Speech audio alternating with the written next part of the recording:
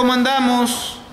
En nuestra cultura mexicana todo urge, vamos al día, el tiempo no nos alcanza, andamos al bomberazo, andamos alterados, no podemos con el trabajo por la cantidad de horas de trabajos, hay carencia de programas, no se respeta lo que se establece, somos muy flexibles y no hay una visión compartida. Pareciera que en nuestra cultura todo está al revés. Hacemos para pensar en lugar de pensar para hacer. Entonces es un problema bastante grave que tenemos que corregir. ¿Cómo? Estableciendo con tiempo que va a realizarse por medio de programas, se planifica y se administran los recursos, si algo sale mal se corrige en el momento, se identifica la causa raíz, se establecen medidas de control tanto inmediatas como definitivas. Tenemos que planificar qué vamos a hacer, con qué recursos contamos, cuándo lo vamos a hacer, hacerlo, verificar que eso que dijimos que íbamos a hacer fue lo correcto y si no está bien, corregirlo. Debemos dedicar el 80% en planificar nuestro trabajo y hacerlo y un 20% en administrar ese trabajo. No al revés.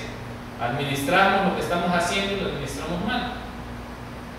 El sistema de permiso obliga 72 horas antes de hacer los trabajos, tramitar un permiso de trabajo. 72 horas, o sea, tres días antes debemos estar pensando qué vamos a hacer. Por así decirlo, hoy que es viernes, tendríamos que estar pensando el trabajo que vamos a hacer sábado, domingo, lunes, el día martes. Hoy viernes tendremos que estar metiendo los permisos que vamos a trabajar el día martes. Y eso nos obliga a enderezar la pirámide, a pensar para hacer, a llegarnos de los recursos. Y es muy difícil porque la gente lo considera un trámite burocrático cuando en realidad lo que están haciendo es que se siente y escriba qué va a hacer y cómo lo va a hacer, que planifique su trabajo. Pero bueno, para allá vamos. Y no tan solo pareciera que la pirámide esté invertida en el trabajo, también en la vida diaria. Se mueren al año aproximadamente 20.000 mexicanos en accidentes viales, cuando en accidentes de trabajo andamos por 3.000 personas estamos 1 a 7. En el trabajo nos pasamos la mitad del tiempo de nuestra vida trabajando. Entonces estamos hablando de 1 a 7. En el vehículo nos pasamos un 5% de nuestro tiempo. ¿Qué sucede? Que en el trabajo tenemos leyes, reglamentos, procedimientos, sanciones, supervisión, capacitación, adiestramiento, auditoría, inspecciones, equipo de protección personal, planes de emergencia y hay un responsable que es el patrón. En tu auto el responsable eres tú, en tu casa el responsable eres tú, en la calle el responsable eres tú. Tenemos que cambiar esa expectativa de tener a uno de seguridad detrás de nosotros. Y al venir a ese tipo de cursos nosotros nos damos cuenta que debemos ser nuestros propios ingenieros de seguridad. Debemos ser la persona que debe identificar los riesgos y establecer las medidas de control. Debemos de pensar en el policía que está atrás de nosotros Debemos hacer las cosas por nuestro propio interés, por nuestra propia responsabilidad. Hacer las cosas bien y a la primera. Otro punto importante es que nosotros vamos a trabajar con gente la gente tiene diferentes conductas, diferentes comportamientos. Y esos comportamientos se dan si la persona sabe, quiere y puede. Si tenemos una persona que sí sabe, que sí quiere que sí puede, vamos a tener una persona confiable que va a hacer un trabajo seguro. Se dice que esta persona es una persona competente. Tiene competencia, sabe, quiere y puede. Cuando la persona no puede, pero sí sabe y sí quiere, se dice que es una persona no apta. Si la ponemos a hacer un trabajo y no la ayudamos, probablemente nos provoque un incidente o el trabajo no salga de la calidad que se quiere. Tenemos que ayudar a esta persona que no es apta. ¿Cómo? Haciendo trabajos de supervisión, haciendo trabajos de enseñanza, de revisión de su trabajo. Tenemos al Contreras que sí sabe y sí puede, pero no quiere. No todos los días vamos a estar de buenas, no todos los días vamos a querer hacer las cosas. Es razonable, somos seres humanos, somos volubles. Sin embargo, tenemos un compromiso de sí hacer el trabajo. El supervisor tiene que identificar quién está en condiciones que no quiere hacer las cosas y hablar con él. Y a lo mejor es necesario que se dé una vuelta, que se relaje, que se vaya a echar agua, que se tome un café. ¿Es válido? Sí, sí es válido. Pero tiene que cumplir con su responsabilidad, para eso se alquiló.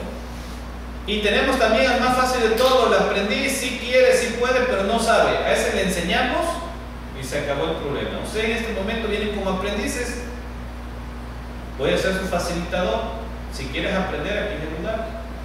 Pero es si quieres. Entonces ustedes son aprendices, quieren aprender, se les enseña y se vuelven personas competentes. Hasta ahí es responsabilidad del supervisor, pero se da otra situación cuando viene un recomendado que no sabe y no puede, pero sí le gusta la lana. Ahí está más complicado. El supervisor no puede hacer gran cosa por él. Está haciendo un trabajo que no le gusta, por lo cual, ahora sí, su desempeño. ¿Cómo andamos? En nuestra cultura mexicana todo urge, vamos al día, el tiempo no nos alcanza, damos al bomberazo, andamos alterados, no podemos con el trabajo por la cantidad de horas de trabajos, hay carencia de programas, no se respeta lo que se establece, somos muy flexibles y no hay una visión compartida. Pareciera que en nuestra cultura todo está al revés. Hacemos para pensar en lugar de pensar para hacer. Entonces es un problema bastante grave que tenemos que corregir. ¿Cómo? Estableciendo con tiempo que a realizarse por medio de programas, se planifica y se administran los recursos, si algo sale mal se corrige en el momento, se identifica la causa raíz, se establecen medidas de control tanto inmediatas como definitivas. Tenemos que planificar qué vamos a hacer, con qué recursos contamos, cuándo lo vamos a hacer, hacerlo, verificar que eso que dijimos que íbamos a hacer fue lo correcto y si no está bien, corregirlo. Debemos dedicar el 80% en planificar nuestro trabajo y hacerlo y un 20% en administrar ese trabajo. No al revés, administramos lo que estamos haciendo y lo administramos mal. El sistema de permiso obliga 72 horas antes de hacer los trabajos, tramitar un permiso de trabajo. 72 horas, o sea, tres días antes debemos estar pensando qué vamos a hacer. Por así decirlo, hoy que es viernes, tenemos que estar pensando el trabajo que vamos a hacer sábado, domingo, lunes, el día martes. Hoy viernes tendremos que estar metiendo los permisos que vamos a trabajar el día martes. Y eso nos obliga a enderezar la pirámide, a pensar para hacer, a llegarnos de los recursos.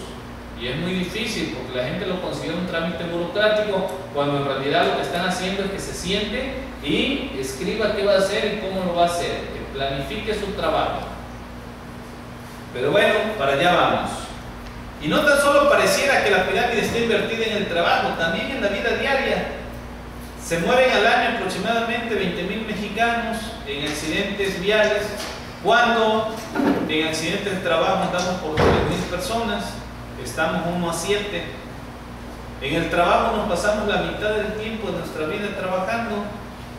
Entonces estamos hablando de 1 a 7. En el vehículo nos pasamos un 5% de nuestro tiempo. ¿Qué sucede? que en el trabajo tenemos leyes, reglamentos, procedimientos, sanciones, supervisión, capacitación, adiestramiento, auditoría, inspecciones, equipo de protección personal, planes de emergencia y hay un responsable que es el patrón. En tu auto el responsable eres tú, en tu casa el responsable eres tú, en la calle el responsable eres tú.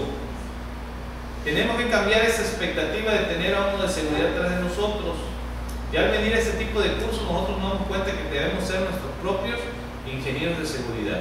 Debemos ser la persona que debe identificar los riesgos y establecer las medidas de control. Debemos de pensar en el policía que está atrás de nosotros. Debemos hacer las cosas por nuestro propio interés, por nuestra propia responsabilidad. Hacer las cosas bien y a la primera. Otro punto importante es que nosotros vamos a trabajar con gente, la gente tiene diferentes conductas, diferentes comportamientos. Y esos comportamientos se dan si la persona sabe, quiere y puede. Si tenemos una persona que sí sabe, que sí quiere que sí puede, vamos a tener una persona confiable que va a hacer un trabajo seguro. Se dice que esta persona es una persona competente. Tiene competencia, sabe, quiere y puede. Cuando la persona no puede, pero sí sabe y sí quiere, se dice que es una persona no apta. Si la ponemos a hacer un trabajo y no la ayudamos, probablemente nos provoca un incidente o el trabajo no salga de la calidad que se quiere. Tenemos que ayudar a esta persona que no es. ¿Cómo? Haciendo trabajos de supervisión, haciendo trabajos de enseñanza, de revisión de su trabajo. Tenemos al Contreras que sí sabe y sí puede, pero no quiere. No todos los días vamos a estar de buenas, no todos los días vamos a querer hacer las cosas. Es razonable, somos seres humanos, somos volubles. Sin embargo, tenemos un compromiso de si hacer el trabajo. El supervisor tiene que identificar quién está en condiciones que no quiere hacer las cosas y hablar con él. Y a lo mejor es necesario que se dé una vuelta, que se relaje, que se vaya a echar agua, que se tome un café, ¿es válido? Sí, sí es válido. Pero tiene que cumplir con su responsabilidad, para eso se alquiló.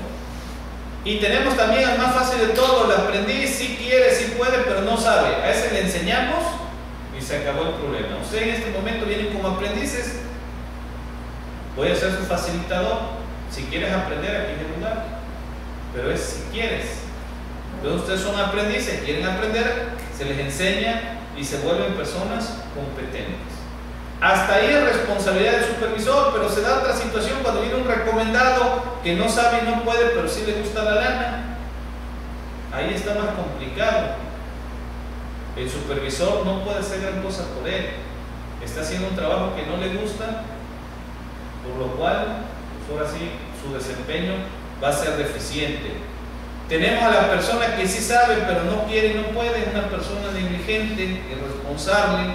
También tenemos a la persona que sí quiere, que sí puede, pero no quiere y no sabe. Viene a robalear, viene a hacerse guay, a buscar las 3 de la tarde. Por último, tenemos al incompetente, no sabe, no quiere y no puede, que es el extremo del competente. Si en un grupo tienes más de dos o tres que están en la parte roja, aguas, vas a tener problemas para liderar a ese equipo de trabajo. Cuando tenemos una persona que es competente, una persona que no es apta, una persona que es contrera, un aprendiz, es responsabilidad del supervisor enseñarle, ayudarlo, apoyarlo. ¿Por qué? Porque todos podemos pasar por, por esa situación. Pero ya cuando nos toca recomendados, irresponsables, gente que nada más viene a robalear o gente incompetente, Señores, hay que tomar acciones y si esa acción es necesario correr a la persona o dar la oportunidad en otro lado, pues hay que hacerlo.